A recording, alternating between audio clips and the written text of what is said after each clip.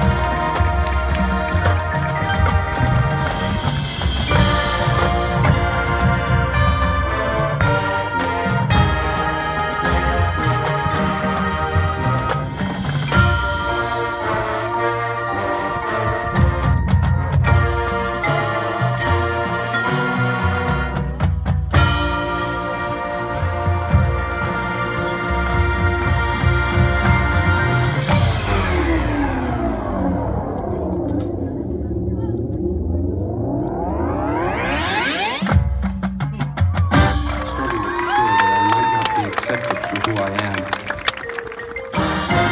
and that I deserve not to be accepted.